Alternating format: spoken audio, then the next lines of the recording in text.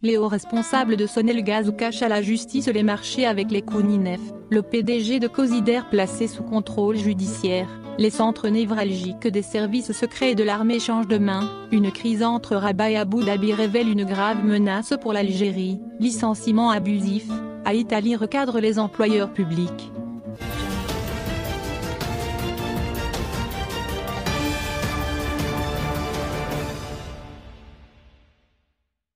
Les dossiers noirs de l'énergie, les hauts responsables de Sonelgaz cachent à la justice les dessous des six marchés avec les Kouninef.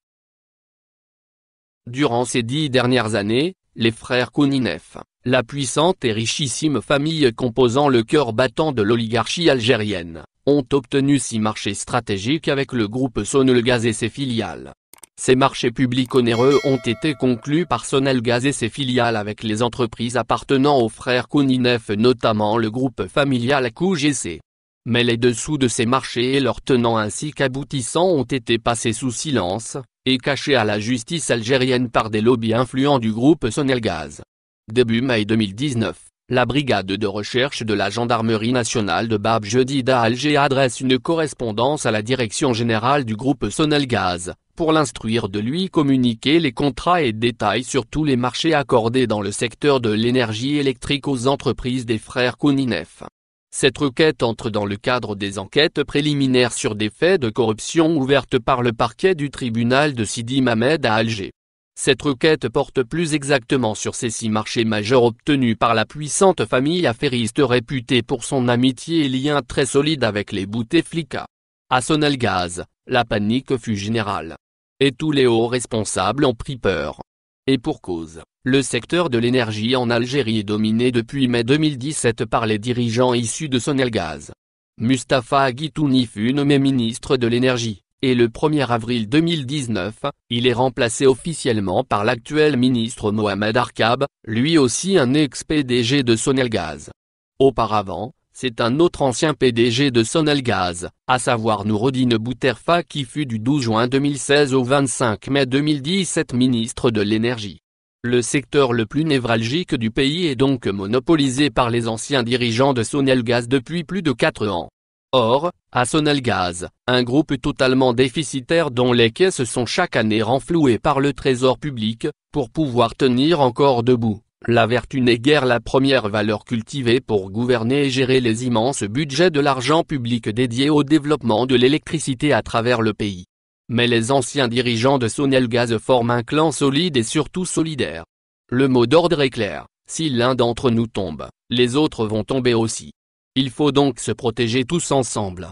Et la justice algérienne comme les différents services de sécurité se heurtent à la dure loi de l'Omerta, à chaque fois qu'une enquête est enclenchée à propos d'un scandale ayant ébranlé le secteur de la production et distribution de l'électricité.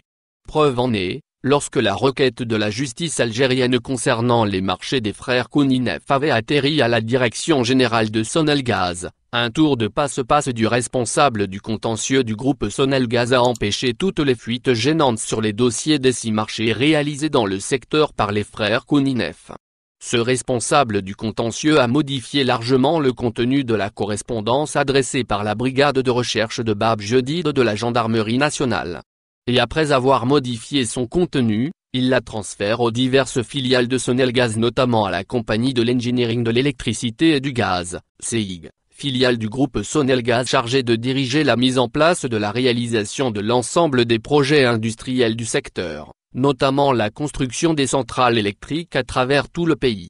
Grâce à ce tour de passe-passe, les responsables de Sonelgaz ont pu dissimuler des informations fondamentales et précieuses sur les affaires des frères Kouninef. Il faut savoir que personne n'a intérêt à ce que la justice algérienne découvre la vérité sur la puissante influence et l'emprise des frères Kouninef sur ce secteur. Depuis 2017, sans le parrainage de cette richissime et puissante famille, il est impossible de devenir ministre de l'énergie. Et Mohamed Arkab, l'actuel ministre de l'énergie en sait des choses sur ce précieux parrainage.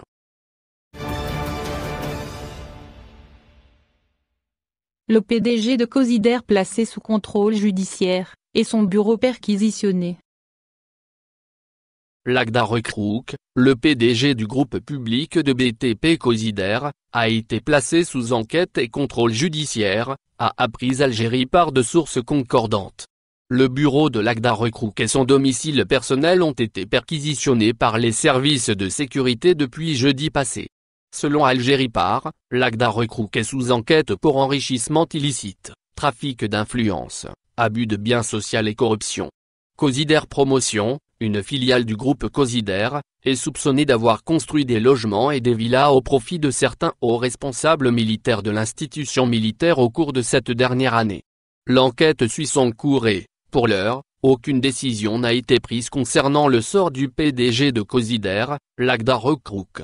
Soulignons enfin que le groupe Cosider est un important groupe public spécialisé dans la construction du bâtiment et travaux publics. Il s'agit de l'une des plus stratégiques entreprises étatiques algériennes.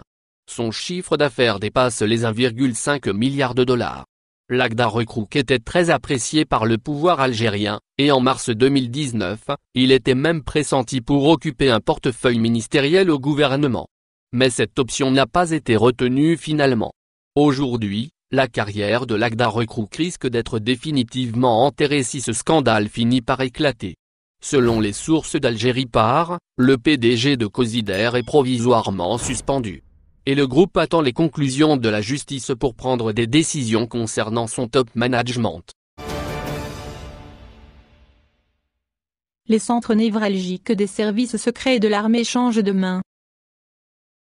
L'affaire du général Wassini Bouazak, le désormais ex-patron de la Direction Générale de la Sécurité Intérieure, DGSI, ne fait que commencer, alors que les changements à la tête des services secrets, qui relèvent de la présidence de la République, interviennent. Ainsi, après la nomination du général Abdelghani Rachidi, un militaire que l'on dit intellectuel et compétent, à la tête de la sécurité intérieure, c'est au tour du général-major Mohamed Youssef Ouzit, de reprendre son ancien poste de chef de la direction de la documentation et de la sécurité extérieure, DDSE, duquel il a été débarqué par Saïd Bouteflika, frère du président déchu au mois de février 2019, en plein mouvement de contestation populaire. Il remplace ainsi le colonel Kamel Ramli, parachuté au sommeil de ce service très sensible par feu de Salah, sur recommandation du général Bouaza, son proche collaborateur, en dépit, dit-on, de sa méconnaissance totale du monde du renseignement. Son installation officielle a eu lieu jeudi dernier, par le chef de l'état-major de la ANP, le général-major Saïd Changria, au nom du président Abdelmajid Tebboune, qui se débarrasse ainsi des responsables des services secrets qui dépendent de son autorité, mais vraisemblablement restés sous influence de celui qui avait mené une campagne contre sa candidature, lors de l'élection présidentielle de décembre 2019, et soutenu celle du secrétaire général par intérim du RND, Azedine Mioubi, duquel il était proche. Ce ne sont pas les premiers changements et certainement ni les derniers.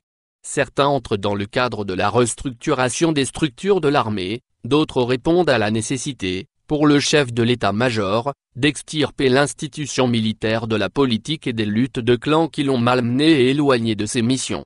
Il a mis fin aux fonctions du puissant directeur central de la sécurité de l'armée, DCSA, le général Abdelwahab El-Bouri, dit Nabil, désigné à ce poste par feu de Salah, sur recommandation de Bouaza, dont il était adjoint, avant d'être promu. Son successeur n'est autre que le général Sid Ali Benzmirli, qui reprend en fait les rênes de cette direction, de laquelle il a été éjecté, au mois d'avril 2019, après une année seulement de sa désignation, par feu Gaï de Salah.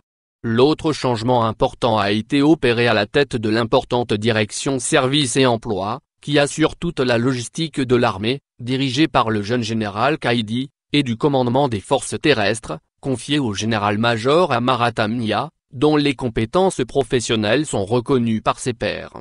D'autres décisions pourraient intervenir dans les prochains jours, en raison de l'évolution de l'enquête judiciaire sur la gestion, par Bouazak, des affaires liées à la sécurité intérieure et bien au-delà, affirment des sources sûres. Placé sous mandat de dépôt, par le tribunal militaire de Blida, l'ex-patron de la DGSI fait l'objet de plusieurs inculpations, alors que quatre de ses proches collaborateurs sont sous enquête, parmi eux, l'ex-chef de l'antenne de la DGSI à Alger, le colonel Yassine, détenu lui aussi. Plusieurs dossiers risquent d'emporter des officiers de la muette, notamment ceux connus pour être sous influence de l'ex-patron de la sécurité intérieure, et qui auraient pu jouer un rôle dans ce que beaucoup qualifient d'interférence et d'abus de fonction. La nomination du général Abdelghani Rachidi à la tête de la sécurité intérieure, et le retour du général Bouzid aux commandes de la sécurité extérieure, pourrait ouvrir au président Tebboune une nouvelle perspective, qui lui permettra d'avoir plus de sérénité pour prendre toutes les mesures allant dans le sens de l'apaisement. Une crise entre Rabat et Abu Dhabi révèle une grave menace pour l'Algérie. Des ressortissants israéliens et émiratis sont bloqués au Maroc, otages de désaccords politiques entre Abu Dhabi, Tel Aviv et Rabat. Le journal israélien Jérusalem Post indique, en effet, que les voyageurs originaires d'Israël et des Émirats n'ont pas pu regagner leurs pays respectifs en raison d'une prise de bec entre les responsables marocains et leurs homologues émiratis et israéliens, qui s'était entendu pour évacuer les passagers bloqués à Casablanca via un vol qui devait être assuré par la compagnie aérienne Emirati. Mais les Marocains s'y sont opposés en arguant que les deux pays se sont mis d'accord sans en aviser la partie marocaine. Après avoir accepté d'autoriser l'évacuation des citoyens israéliens du pays en raison de l'épidémie de coronavirus, le Maroc a ensuite bloqué l'évacuation après qu'Israël et les Émirats arabes unis ont accepté d'évacuer leurs ressortissants sur un vol commun sans consulter au préalable le Maroc, précise le journal israélien qui se réfère à la radio de l'armée israélienne. Les Israéliens qui sont actuellement bloqués au Maroc devaient auparavant retourner en Israël avant la fête de Pâques. Pour résoudre le problème, les Émirats arabes unis ont contacté Israël et ont proposé d'évacuer à la fois ses citoyens et les Israéliens sur un vol assuré par l'État du Golfe, car les vols d'Elel, sont interdits d'entrer au Maroc, explique Jérusalem Post qui révèle par là même les liens étroits qui lient les Al-Nayan et le régime de Tel Aviv. Israël a accepté l'offre, mais le Maroc a exprimé sa colère devant le fait que les Émirats arabes unis et Israël aient conclu un tel accord sans consulter au préalable le gouvernement marocain, et ont bloqué cette décision, insiste le quotidien anglophone, qui souligne que cette crise survient au milieu des tensions accrues entre Rabat et Abu Dhabi, alors que le Maroc se rapproche du Qatar, et que les Émirats arabes unis sont accusés de diffamer la monarchie marocaine. La collusion entre les Émirats arabes unis et Israël est désormais révélée au grand jour. Une collusion d'intérêts qui soulève la très sensible question de la présence à Dubaï de l'ancien secrétaire particulier de Gaïd Salah, Garnit Benouira, exfiltré d'Algérie par les généraux, Ouassini Bouaza et Abdelkader Lakshekem, en possession de documents ultra-confidentiels subtilisés du coffre-fort de l'ancien chef d'état-major après sa mort en décembre dernier.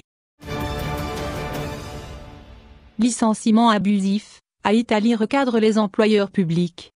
Le ministre de l'Industrie et des Mines, Ferrata Italie, a rappelé à l'ordre les employeurs publics concernant les licenciements abusifs d'employés. Dans une instruction au PDG des groupes industriels et les responsables des organismes sous tutelle, le ministre les a appelés au respect des procédures de gestion des relations de travail, indique un communiqué du ministère rendu public ce dimanche 19 avril. Il m'a été donné de constater par le biais des différentes requêtes parvenues à mes services, que plusieurs cas de licenciement d'employés d'entreprises et organismes ne respectent pas les règles et procédures établies par la réglementation en vigueur, lit-on dans l'instruction. En premier lieu, je tiens à vous rappeler que le licenciement professionnel doit obéir aux critères édictés et prouvés, à savoir, la faute ou l'insuffisance professionnelle, à ce titre, les motifs de licenciement doivent être réels, reposant sur des faits objectifs, vérifiables, loin d'une simple impression ou jugement subjectif, justifiant le licenciement, eu égard à l'impact de la faute commise par rapport à l'intérêt de l'entreprise, indique le ministre qui regrette par ailleurs que des décisions de justice en faveur des travailleurs ne soient pas exécutées.